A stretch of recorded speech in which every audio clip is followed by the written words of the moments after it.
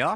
Neste gjest ble først eh, kjent i Robinson-ekspedisjonen, og da hadde han en bolleklipp som var ganske fyldig.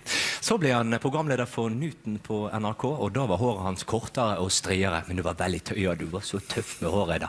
Nå er han programleder for eh, det nye NRK-programmet Fylla, og i dag har jeg bare tatt litt grann av tuppene. Her er Ole André Sivertsen!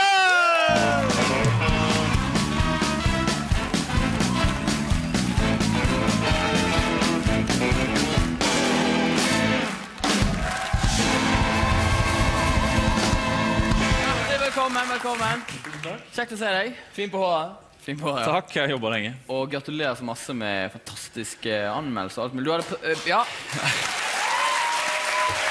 premiere i forrige uke på Fylla, Ja. og enormt høye seertall.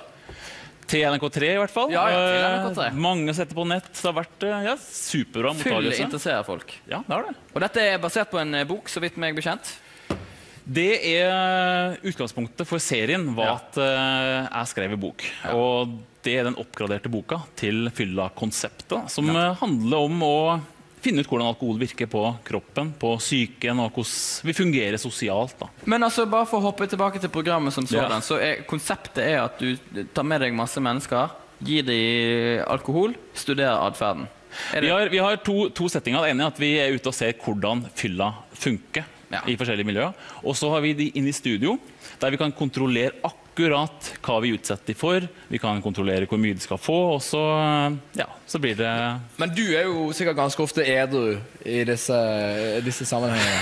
Jeg, jeg må nesten være Det edru nesten være. programmet, Hvordan er, hvordan er det liksom å jobbe, være edru og det å jobbe med fulle folk hele tiden? Det må jo være Ja. plagsomt. Det er jo ganske mye um, si, mye rart som skjer. fordi at uh, de er jo ikke, I begynnelsen så er de veldig opptatt av at de blir gjort forsøk på. Uh, hva er det vi uh, Hva har vi i glasset? Er det like mye som vi tror det er? Hva er det de studerer? For det, det får de ikke alltid vite. da.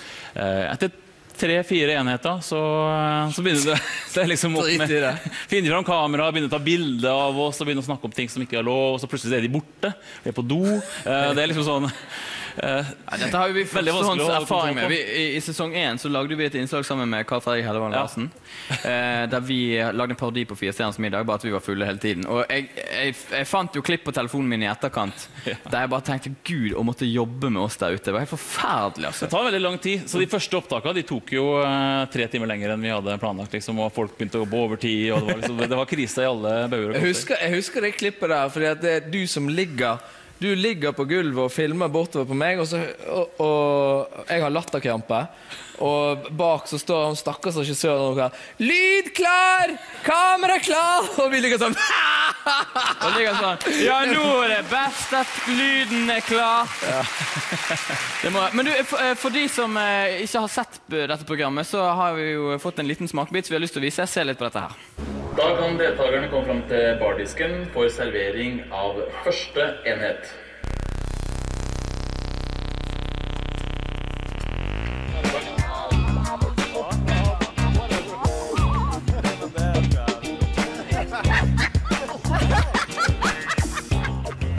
Hvor mange enheter tror du at du har drukket nå? Nå så føles det ut som eh, fem, seks, sju, åtte, ni, ti. Eller noe sånt noe. Et sted mellom der i hvert fall.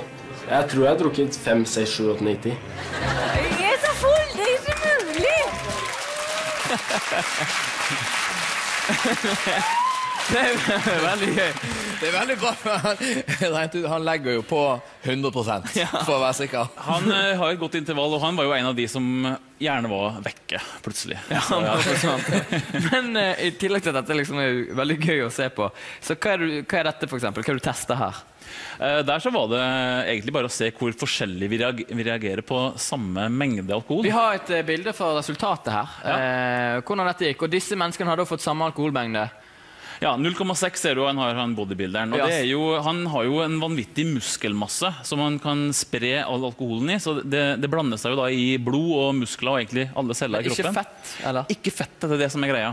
Så hadde du hatt en som var akkurat like tung som han der eh, muskelberget der, bare at han var da overvektig og feit, så ville han ha høyere promille og ikke sannsynligvis eh, være litt fullere. Men se, Hun stakkars lille jenten der Hun har jo 1,6 i promille. Ja, og det er, jo, det er jo det som skjer da når at, eh, små og store folk kanskje er på vors sammen og drikker eh, like mye, så vil jo faktisk de som er ganske små, venne seg til å drikke skal si, og få høyere promille. Så de har egentlig høyere toleranse. Da. Hadde vi gitt han der eh, sværingen der 1,6 i promille som hun jenta hadde, så hadde han helt sikkert gått rett i bakken med en gang. For han har aldri så høy promille. ikke sant? Komplekst er det. Da hadde han sikkert blitt lei seg. Ja, er begynt å snakke begynt om mulig sånn Mammaen min eh, ja. Men, det, men det er jo det som er så rart, for at inni hjernen vår så er jo forskjellige deler av hjernen også har forskjellig toleranse.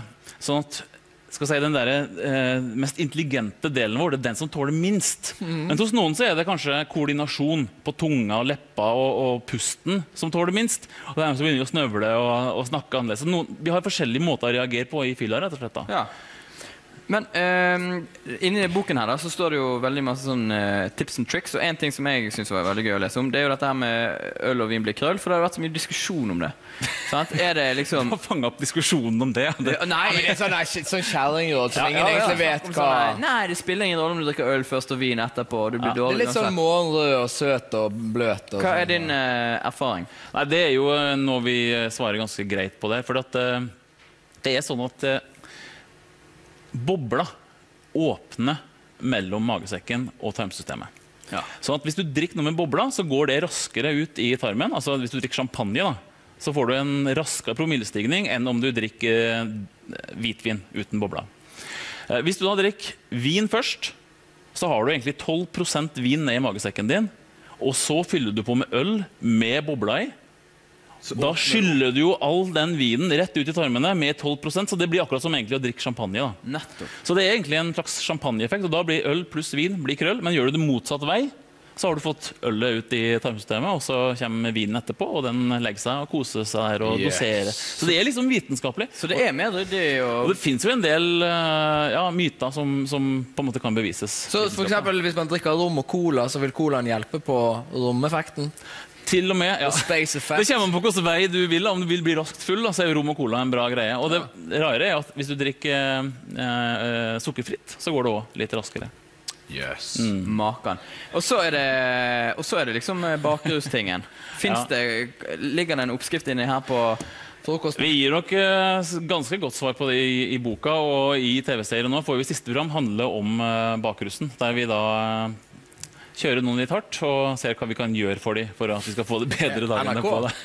Men det der med å kjøre folk hardt eh, Har du fått mye mail i det siste, eller? Ja, det er klart at det er en eh, Det er ikke alle det faller så lett for brystet å skjenke folk på TV med viten og vilje og bare for å ja, framprovosere en reaksjon. Nei. Så det er litt sånn eh, Avholdsfolket håper jo helst at vi skal snakke om alle problemene det fører til sosialt. Og eh, ja, kristenfolket liker jo ikke noen ting, så da er det liksom Så Vi har liksom visst at de kom til å få noe tilbake, og det har vi absolutt fått. Men føler du at du kan ha liksom, eh, forskningsflagget høyt til topps? Ja, jeg syns det. fordi at, eh, altså, Hva er det vi vet om det?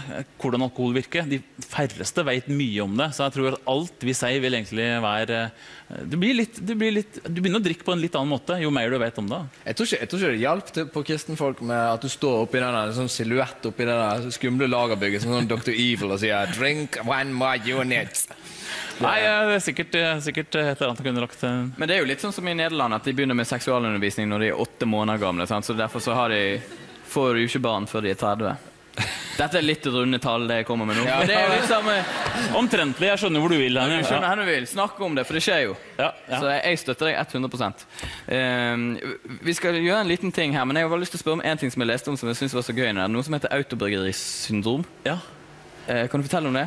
Altså, det betyr, altså Et bryggeri er jo der alkohol blir til. Og det er noen som har rett og slett at de får eh, gjær i magesekken, gjærsopp, som kan da gjøre om det de spiser av eh, karbohydrater, til alkohol i da Altså- din egen magesekk. Så loff Eller ja, sukker, hva som, frukt, hva som helst. Hvis du spiser masse humle, eksempel. Så begynner det å brygge i magen din, og så får du økende promille eh, uten å vite egentlig helt hvorfor. Eh, det rare er da, jeg, har førstehåndskunnskap om dette her, ikke, ikke på meg sjøl riktignok, men da jeg var liten, så hadde vi en eh, hund, en golden retriever, veldig snill liten hund. Han likte veldig godt eh, bolledeig. Så lillebroren min smugla bolledeig under bordet til ham, så han glefsa i seg. På dag én så trodde vi jo at han var i ferd med å dø av ukjent grunn. Altså Han lå bare og Dag to så angrep han faren min. Uh, ula mot månen og gjorde alt som en ulv ville gjort. På dag tre så sjangla han. Og det å se en golden retriever-valp som sjangle, det er en sånn ganske spesiell Altså, Bakparten kom forbi framparten. så han prøvde liksom å gå gjennom dører sideveis. Men det er jo litt likt et menneske som har vært ute til klokken halv tre. Veldig, Det kommer men bare jo tenk tilbake fire bein. Forbi, liksom, ut Ja, ja, ja. På, flankene. Enda flere bein. Dobbelt så mange føtter å holde styr på. Jeg tror det var 1,58 han hadde promille på dag tre. eller noe sånt, så Det var 1,58 Det er ganske hardt for en valp på bare noen få Så han er altså en, en sopp i magen som gjør at han blir full av å spise Han hadde vanlig bo- eh, bolledeig, og han var like full som hun jenta vi hadde i program 1. Lagde bollevin i magen. Men du, eh, ok, eh, vi må hoppe rett videre. Jeg har tusenvis av spørsmål. Eh, forhåpentligvis kan folk både kjøpe bok og se på TV og få svar på mange av de. Vi, siden vi ikke er sånn ukristelig program som du er, så er vi vel et sted midt imellom. Men eh, så, så ville vi vise at det går jammen an å ha det gøy uten å drikke alkohol. Og Derfor så har vi laget i stand en liten lek. Ja, som, hva har vi kalt den, Vegard? Har vi noe navn på den? Nei, altså det er jo den klassiske eh, drikkeleken der man Jeg tror man kaller den snurre 15 ganger rundt en flaske og så måtte utføre noe ved hjelp av koordinasjonsevnen din-leken. Ja. Et eller annet sånt. Eh, og til det så har vi jo eh, fått de to minst eh, hva heter det, koordinerte menneskene i hele verden. nemlig Vegard og ikke minst Magnus Devold! Gå bort til meg. Ja, gå bort her, du. Bare fortell kjapt regelverket. er At dere da, i 30 sekunder skal eh, holde fingeren på denne flasken, snurre, og løpe rundt så fort dere kan. Om å gjøre for så mange runder som dere får til, for da blir effekten størst. Veldig fint at du gjør deg i partymodus allerede. Er ikke det dette noe? Eh, og så er det da, når, dere, når tiden er gått ut, så løper dere bort, henter de glassene med saft som står på brettet, Ja. og skal da servere det brettet bort til oss. Ok, Så godt dere kan. Førstemann ferdig vinner. Er det greit? Ja. Mhm. Dette føles som en KFUK KFUM sommerleir. ja. Men Men det- de har det jo De har det gøy. supergøy, de. Er dere klare? Ja. Klar, ferdig, gå!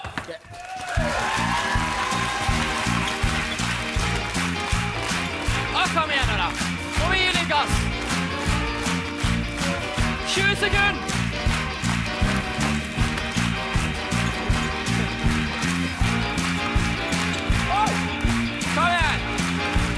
10 sekunder. Fortere, fortere. Kom igjen, dere. Kom igjen, dere. Kom igjen. dere. to,